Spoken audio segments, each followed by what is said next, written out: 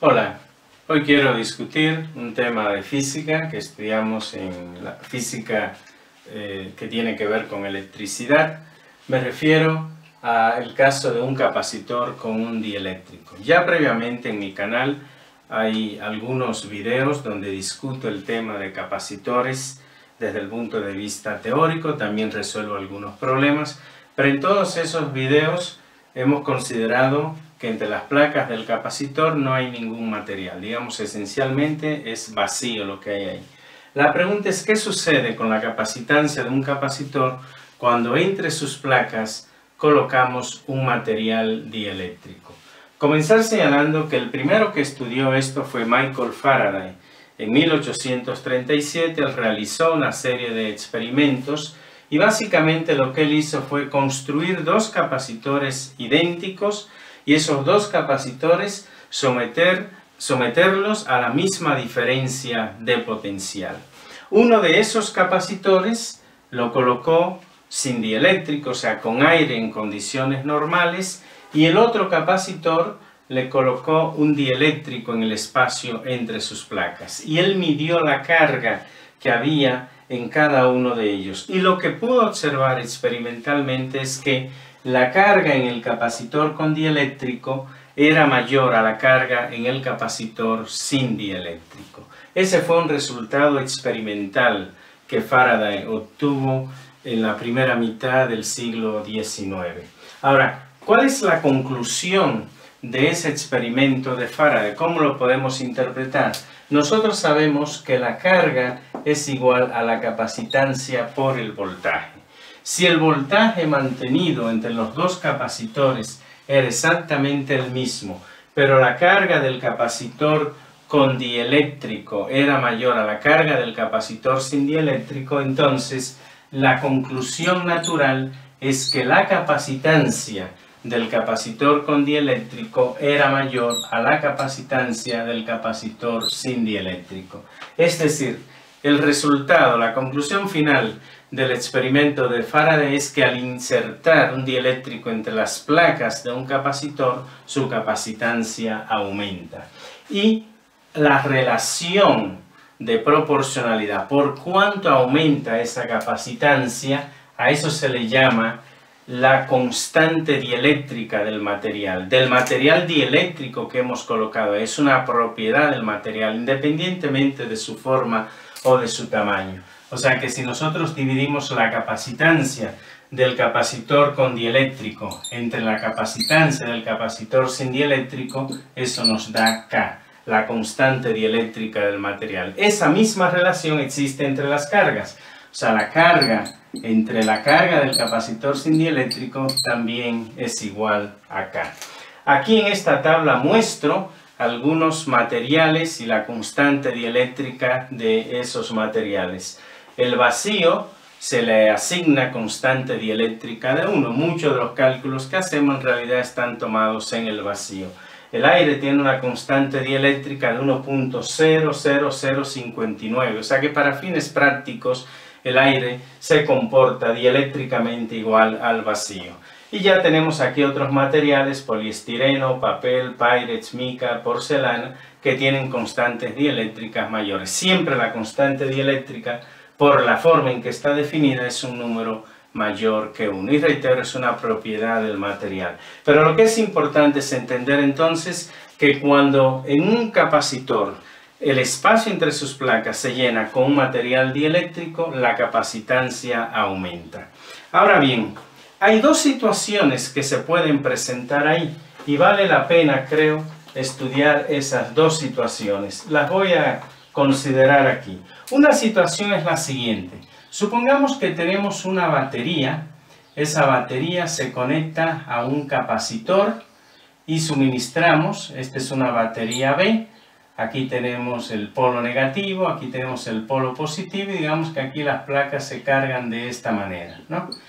Y tenemos ahí entonces un capacitor al cual le suministramos una cierta carga Q en ese caso. Pensemos ahora que en esa situación que está ahí, manteniendo la batería conectada, nosotros ahora hacemos lo siguiente.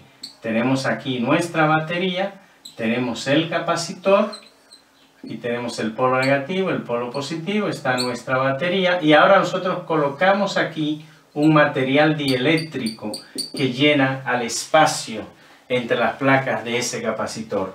Lo que nosotros observamos, de hecho lo que Faraday observó en esa condición es que la carga aumenta acá.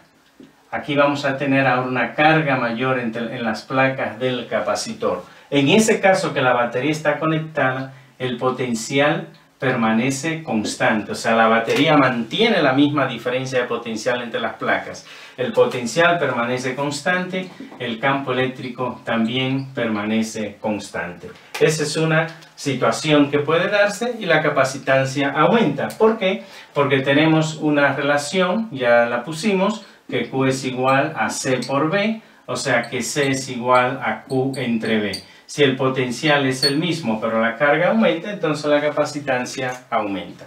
Esa es una condición. El otro caso que puede presentarse es el siguiente.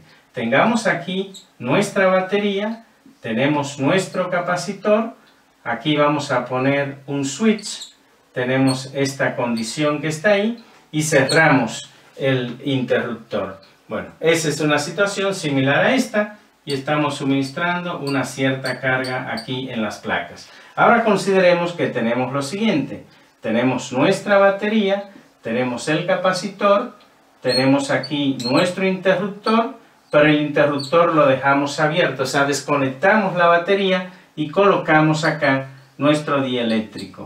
Lo que va a suceder en ese caso es que ahora la carga es la misma. La carga no va a aumentar porque ya no tenemos batería conectada que nos esté produciendo más carga, suministrando más carga al capacitor. En este caso, la carga es constante, pero hay una disminución del potencial.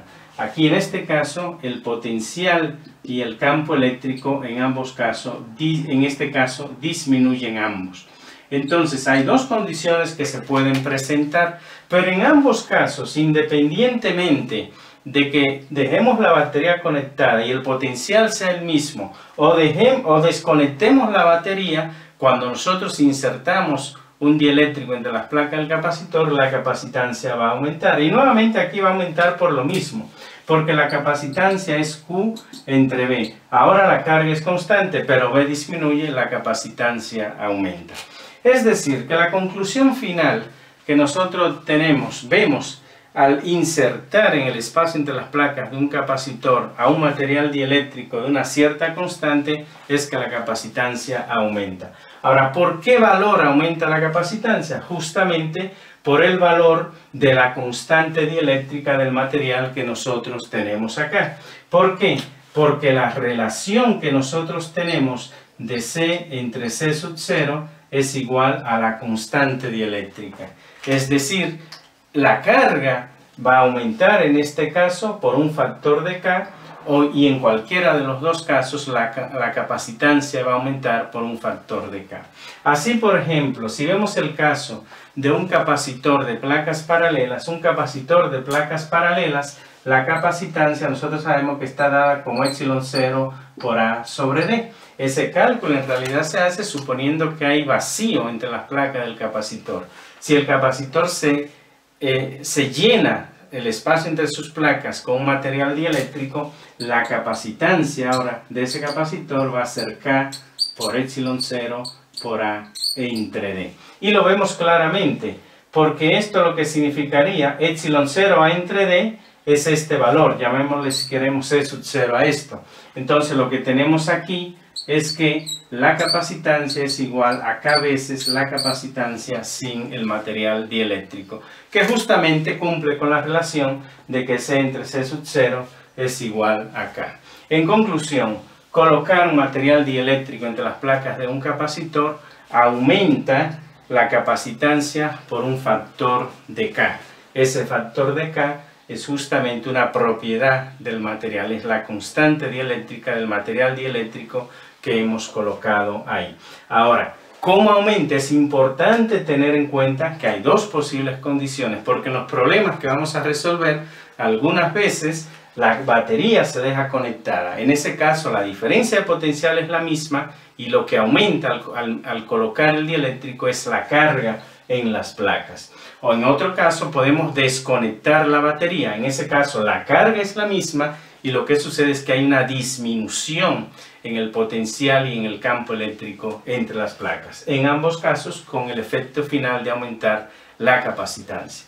Finalmente, ¿qué podemos decir? Un capacitor es un dispositivo hecho para almacenar energía eléctrica. Si la capacitancia aumenta, si las cargas cambian, si el voltaje cambia, es lógico que la capacidad de almacenar energía eléctrica un capacitor va a variar con eh, la posibilidad de que el capacitor se le inserte o no un material dieléctrico en el espacio entre sus placas. ¿Cómo va a variar? Puede ser que aumente o disminuya. Veamos el caso. En este caso, donde el voltaje es constante, nosotros sabemos que la energía potencial eléctrica la podemos calcular como un medio de C por V al cuadrado.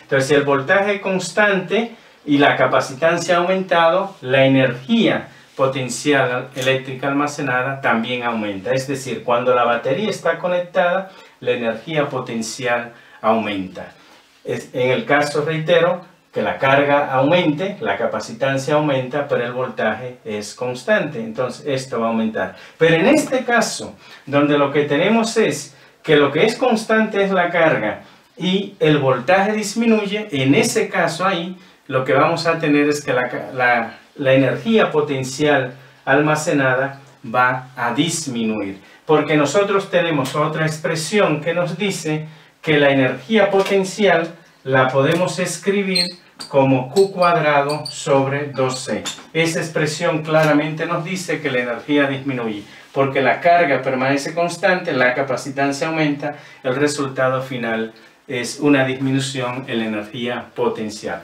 Por eso es importante entender el caso que estemos trabajando cuando colocamos un material dieléctrico entre las placas de un capacitor. Bien, un tema que es importante en el estudio de la física, sobre todo en el curso que tiene que ver con electricidad o si estás llevando circuitos eléctricos, por ejemplo, este tema también aparece. Cómo se modifica la capacitancia de un capacitor cuando un material dieléctrico llena el espacio entre sus placas. Espero pues que la explicación que te he dado aquí te haya sido interesante, te haya parecido interesante y te sea útil si estás tomando esta materia.